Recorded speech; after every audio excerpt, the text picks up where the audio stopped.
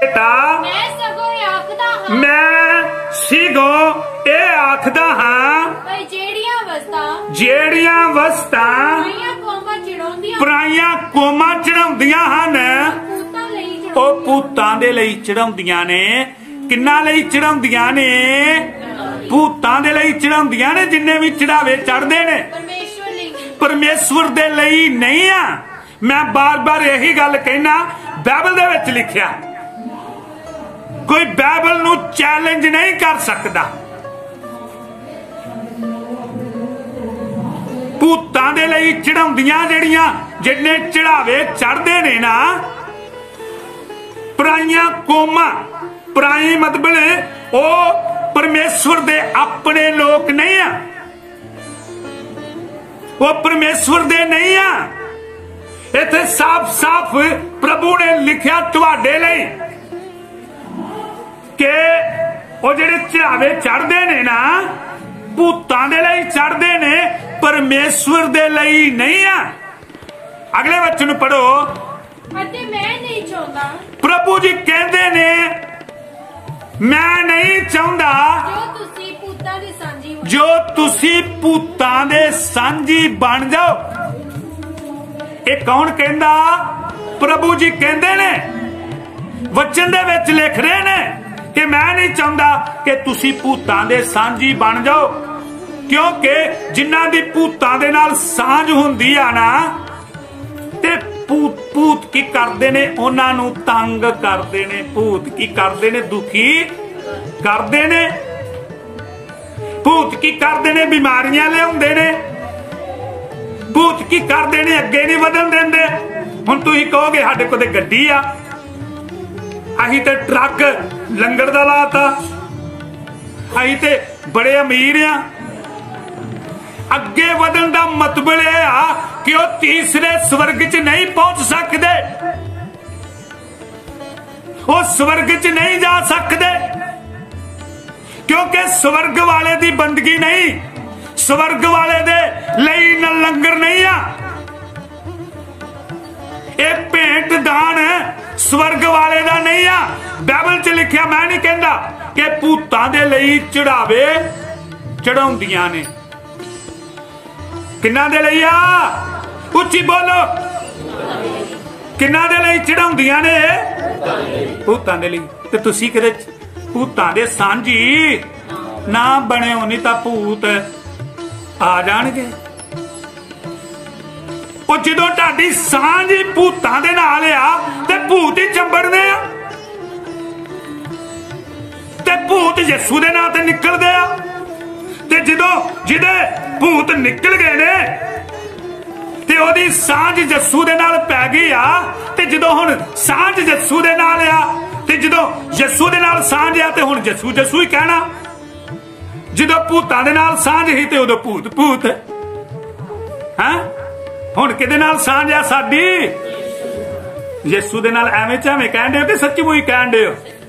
ਕਿਹਦੇ ਨਾਲ ਸਾਂਝ ਆ ਤੁਹਾਡੀ? ਯਿਸੂ ਦੇ ਨਾਲ ਸਾਂਝ ਆ। ਤੇ ਜਦੋਂ ਤੁਹਾਡੀ ਯਿਸੂ ਦੇ ਨਾਲ ਸਾਂਝ ਹੋਏਗੀ, ਤੇ ਉਦੋਂ ਤੁਸੀਂ ਪ੍ਰਭੂ ਦੀ ਸਮਰਥ ਦੇ ਵਿੱਚ ਹੋਵੋਗੇ। ਪ੍ਰਭੂ ਦੀ ਸ਼ਕਤੀ ਤੁਹਾਡੇ ਤੇ ਹੋਵੇਗੀ। ਪ੍ਰਭੂ ਦਾ ਬਲ ਤੁਹਾਡੇ ਵਿੱਚ ਹੋਏਗਾ। ਉਦੋਂ ਤੁਸੀਂ ਭੂਤ ਕਢਾਓਗੇ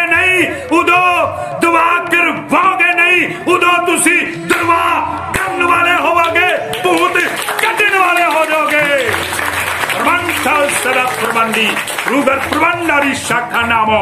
ਉਦੋਂ ਤੁਸੀਂ ਭੂਤ ਕੱਢਣ ਵਾਲੇ ਬਣੋਗੇ। ਭੂਤ ਅੱਗੇ ਅੱਗੇ ਭੱਜਣਗੇ ਤੁਹਾਡੇ ਕੋਲੋਂ। ਉਹ ਯਿਸੂ ਵਾਲੇ ਆ ਗਏ, ਯਿਸੂ ਵਾਲੇ ਆ ਗਏ, ਯਿਸੂ ਵਾਲੇ ਆ ਗਏ ਉਹ ਯਿਸੂ ਵਾਲੇ ਆ ਗਏ। ਤੇ ਭੂਤ ਹੀ ਭੱਜ। ਕਿਉਂਕਿ ਯਿਸੂ ਮਸੀਹ ਨੇ ਕਿਹਾ, ਮੇਰਾ ਨਾਮ ਲਓਗੇ ਤੇ ਭੂਤ ਭੱਜ। ਜਾਣਗੇ। ਤੇ ਹੁਣ ਭੂਤ ਕਿਹਦੇ ਨਾਂ ਤੇ ਭੱਜਦੇ ਆ? ਯਿਸੂ ਦੇ ਨਾਂ ਤੇ ਭੱਜਦੇ ਆ ਨਾ। ਭੂਤ ਕੌਣ ਕੱਢਦਾ? ਪ੍ਰਭੂ ਯਿਸੂ ਮਸੀਹ। ਜਿਹੜਾ ਯਿਸੂ ਦਾ ਨਾਮ ਲਵੇਗਾ, ਬਚਾਇਆ ਹੀ ਉਹ। ਮੇਰੇ ਪਿਆਰੇ ਭੈਣ ਭਰਾਵੋ ਕਦੇ ਗੁੱਸਾ ਨਾ ਕਰ ਲਿਆ। ਗੁੱਸਾ ਕਰ, ਪਰ ਪਾਪ ਨਾ ਕਰ। ਇਹ ਪਾਪ ਆ। हे ਪਿਆਰਿਓ ਮੂਰਤੀ ਪੂਜਾ ਤੋਂ ਭੱਜੋ। ਅੱਛਾ ਅਗਲੇ ਵਚਨ ਵਿੱਚ ਸੁਣੀਏ। ਤੁਸੀਂ ਪ੍ਰਭੂ ਦਾ ਪਿਆਲਾ ਤੁਸੀਂ ਪ੍ਰਭੂ ਜੀ ਦਾ ਪਿਆਲਾ ਨਾਲੇ ਭੂਤਾਂ ਦਾ ਪਿਆਲਾ। ਦੋਵੇਂ ਨਹੀਂ ਪੀ ਸਕਦੇ। ਤੁਸੀਂ ਦੋਵੇਂ ਬੇੜੀਆਂ 'ਚ ਬੈਠੇ ਹੋ। ਇੱਕ ਲੱਤ ਇੱਕ ਲੱਤ ਕੱਤੂ ਕੱਥੂ ਦੇ ਵਾਲਿਆ ਤੇ ਇੱਕ ਜੱਸੂ ਦੇ ਵਾਲਿਆ। ਇੱਕ ਘਰ ਰੱਬ ਦਾ ਤੇ ਦੂਜਾ ਘਰ ਯਾਰ ਦਾ। ਹੈਨਾ? ਕਿੱਧਰ ਨੂੰ ਜਾਵਾਂ ਕਹਿੰਦਾ ਮੈਂ ਹੈ ਕਿੱਧਰ ਨੂੰ ਜਾਵਾਂ? ਜਾਣਾ ਜਾਣਾ ਕਿੱਧਰ ਨੂੰ ਆ? ਤੈਨੂੰ ਯਿਸੂ ਕਹਿੰਦਾ ਮੇਰੇ ਕੋ ਆ ਜਾ। ਤੇ ਮੈਂ ਤੈਨੂੰ ਕੀ ਦੇ ਦਵਾਂਗਾ? ਸ਼ਾਂਤੀ ਦੇ ਦਵਾਂਗਾ। ਚਲੋ ਆਪਾਂ ਇਸ ਗੱਲ ਨੂੰ ਆਪਾਂ ਇੱਥੇ ਰਹਿਣ ਦਿੰਦੇ ਹਾਂ ਹਨਾ? ਆਪਾਂ ਵਚਨ ਪੜ੍ਹ ਲੈਨੇ ਆ ਪੜ੍ਹਦੇ ਬੇਟਾ। ਤੁਸੀਂ ਪ੍ਰਭੂ ਦੀ ਮੇਜ਼। ਪ੍ਰਭੂ ਦੀ ਮੇਚ ਨਾਲੇ ਪੁੱਤਾਂ ਦੀ ਮੇਜ਼। ਨਾਲੇ ਭੂਤਾਂ ਦੀ ਮੇਚ ਦੋਵਾਂ ਦੇ ਸਾਂਝੀ ਨਹੀਂ ਹੋ ਸਕਦੇ ਮੇਰੇ ਭੈਣ ਭਰਾਵੋ। ਇੱਕ ਨੂੰ ਚੁਣ ਲਓ। ਇੱਕ ਜਣਾ ਚੁਣੋ, ਇੱਕੋ ਹੀ ਚੁਣੋ। ਤੇ ਇੱਕ ਨੂੰ ਕੀ ਹੋਏਗਾ? ਤੁਹਾਡਾ ਫਿਕਰ ਹੋਏਗਾ।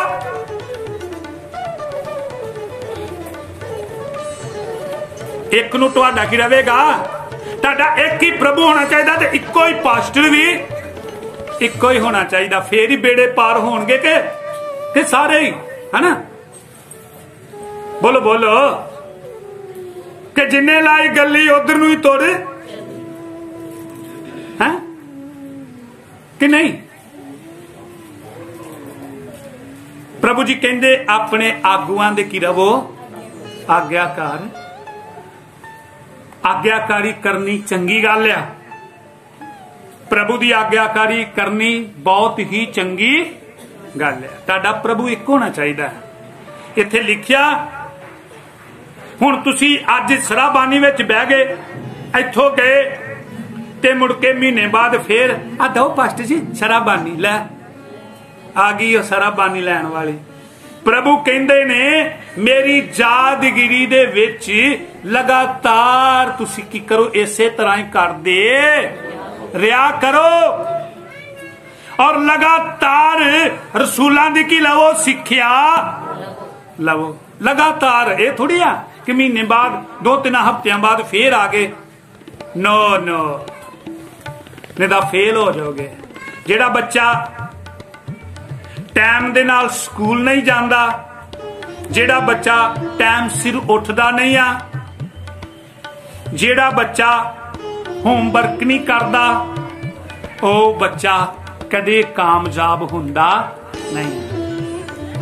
ਉਹੀ ਕਾਮਯਾਬ ਹੁੰਦਾ ਆ, ਜਿਹੜਾ ਡਰ ਰੱਖਦਾ ਆ, ਜਿਹੜਾ ਭੈ ਰੱਖਦਾ ਆ ਤੇ ਜਿਹਦੇ ਜਿਹਦੇ ਅੰਦਰ ਇਹ ਜਮੂਮ ਹੋ ਜਾਂਦਾ ਕਿ ਮੈਂ ਪਾਸ ਨਹੀਂ, ਮੈਂ ਵਧੀਆ ਨੰਬਰ ਲੈਣੇ ਨੇ।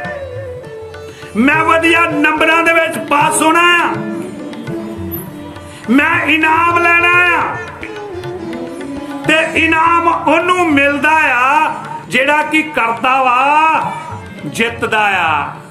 ਜਿਹੜਾ ਜਿੱਤਦਾ ਆ। ਤੁਸੀਂ ਕੀ ਪਾਉਣੀ ਆ? ਜਿੱਤ ਪ੍ਰਾਪਤ ਕਰਨੀ ਆ। ਤੁਸੀਂ ਦੋਨੇ ਪਿਆਲੇ ਨਹੀਂ ਪੀ ਸਕਦੇ, ਕੋਈ ਪਿਆਲਾ ਪੀਣਾ ਪ੍ਰਭੂ ਦਾ ਪਿਆਲਾ, ਤੇਰੇ ਨਾਮ ਦਾ ਪਿਆਲਾ ਅਸੀਂ ਪੀਣਾ। ਤੇਰੇ ਨਾਮ ਵਿੱਚ ਅਸੀਂ ਜਿਉਣਾ। ਤੇਰੇ ਨਾਮ ਵਿੱਚ ਅਸੀਂ ਜਿਉਣਾ। ਮਰਨਾ ਨਹੀਂ ਆ। ਅਸੀਂ ਪ੍ਰਭੂ ਦੇ ਨਾਮ ਦਾ ਪਿਆਲਾ ਪੀ ਕੇ ਜਿਉਣਾ ਹੈ। ਪ੍ਰਭੂ ਜੀ ਕਹਿੰਦੇ ਨੇ, ਜਿਹੜੇ ਮੇਰੇ ਵਿੱਚੋਂ ਪੀਂਦਾ ਹੈ, ਉਹਨੂੰ ਕਦੇ ਪਿਆਸ ਲੱਗਦੀ, ਉਹਨੂੰ ਕਦੇ ਪਿਆਸ ਨਹੀਂ ਲੱਗਦੀ। ਅੱਛਾ